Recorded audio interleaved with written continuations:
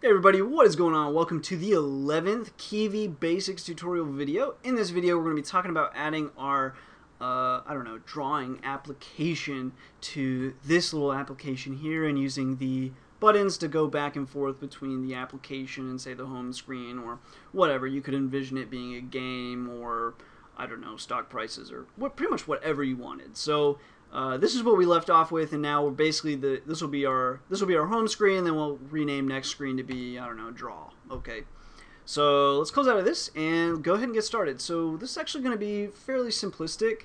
Um, I've now I'm using main main2.kv, so I'm going to change this the loader to main2 now.kv. Uh, and that should be the only thing I have to change. anyway, moving on. So, uh, how do we actually uh, make these changes and move forward. So first we're going to need our actual uh, drawing application. So I'm just going to rewrite it. It's a pretty quick write anyways. So uh, we had a class.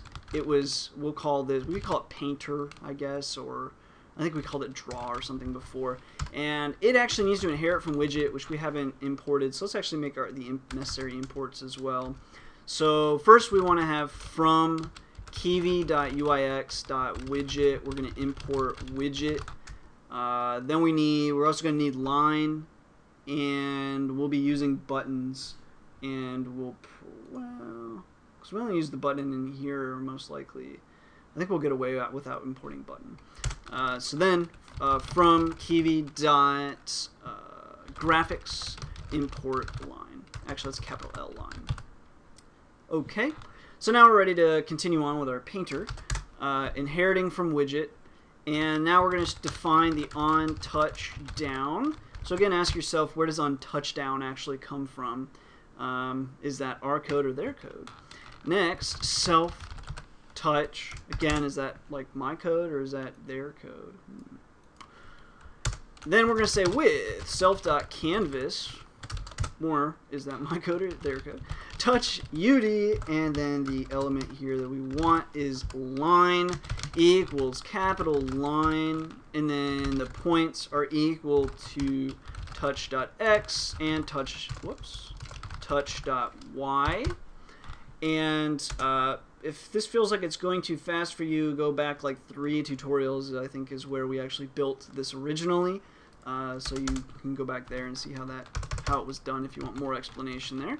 Then again, we have on define on underscore touch underscore move self dot or self uh, comma touch and uh, touch dot ud line dot points plus equals and touch x comma touch y. Okay. And that's basically it. Uh, we're not going to write anything else here. This should all be acceptable. So this is our little widget, right? Same widget that we had before.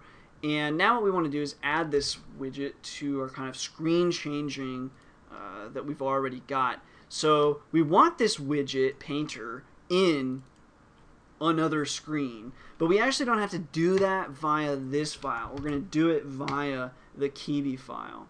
So in another screen. We'll get rid of button for now. We'll eventually have a button there just to, just to do it.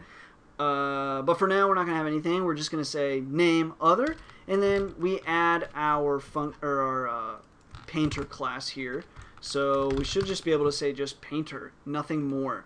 So it would be as if we were actually adding the painter into another screen down here. Uh, but we're, we're not really. But anyway, it's a, it's a painter widget, and we're adding it to another screen. So, uh, whoops, let's save that and run this, and hopefully this works out. So we go to the next screen, and sure enough, we are able to draw. Yay! Okay, so that's how we were able to add just a simple little widget that we had built. Um, initially, that widget was just heading straight into this page. Um, but this one obviously has uh, you know sort of multiple pages. But now you might wonder, okay, what if we want to get back to the main page? Like, what if this was like a settings page, and you wanted the user to be able to get back to the main page. You need to have another button on here. So I think that's what we'll do in the next video. We'll add a button to go kind of back and forth, kind of like we did before, only the button took up the whole page.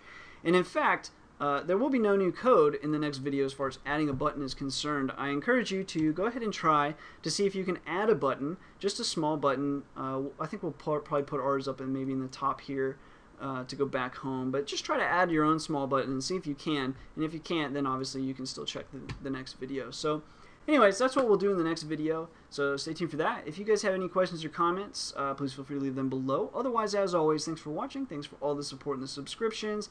And until next time.